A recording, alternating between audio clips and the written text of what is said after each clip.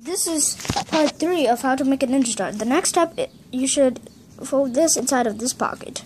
So then you get one of these sides. Then you flip it over. Then you take this thing, this um, flap, and put it inside of this pocket in here. then you should like this. It should probably look like this if you want it to be perfect. Look like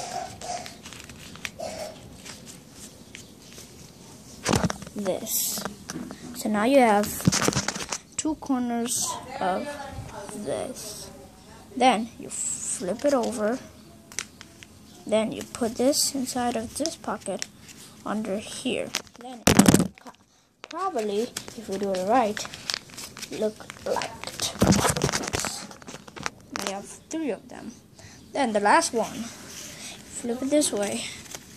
Then fold this side of your pocket. It's right here.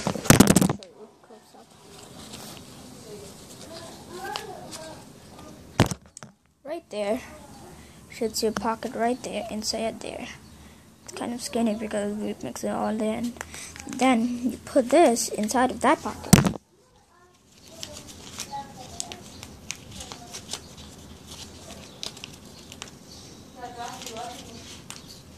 Then you push it all the way in, fill it, and put all the crease together. Push it all together. Then you should probably get end up with this ninja star. So that's part that's part three of how to make a ninja star. And this is how you make a origami ninja star. Bye.